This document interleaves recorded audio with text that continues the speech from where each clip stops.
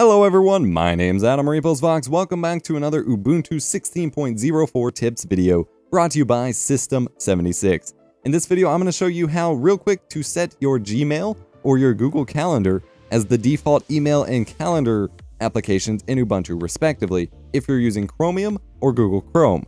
And I believe this may work with Vivaldi as well. Chromium-based browsers it should all work with. Basically what you do if you're using one of these browsers log in to either your Gmail or calendar app. You can use both, of course, but whichever one you're wanting to do this for. And in the top corner of the URL bar, next to where it normally has the little star to favorite the website, it should pop up two diamonds overlapping over top each other. Click that and it will show you a pop-up to determine whether or not you want to allow it to open all links of that type. For Gmail, that will be all mailto email links. So that will set it as the default email client. So whenever you click on a linked email address on a website, it will automatically open the compose menu in Gmail instead of something like Thunderbird. For Google Calendar, it'll open any calendar links in Google Calendar. The calendar links aren't really a common thing these days, but if that's what you're doing, it will give you the option for it regardless. So this is how you do it. It is fairly straightforward, but incredibly useful. I used to back in my early Windows Vista days. I remember every copy of Windows came with a trial of Outlook.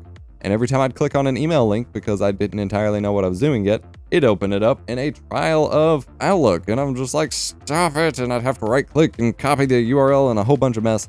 Now we can just automatically set it as a default. I do hope this video was helpful for you. If it was, smash the like button, get subscribed for more awesome tech videos, consider checking out our sponsor, System76. System76 is based out of Denver, Colorado and builds powerful and really awesome Linux-based machines for us Linux users who want one that made to work with it right out of the box. I've been using the System76 Lemur laptop as my main Ubuntu machine for a little while now, and I've enjoyed it quite a bit. The unboxing to it will be in the description below, and that's what I'm recording all of these tutorials on, and I'm enjoying it very, very much. They make great machines, they have high quality stuff, they do laptops, desktops, servers, and more, and they've got some pretty cool stuff going all to power makers, creators, coders, and even people like me.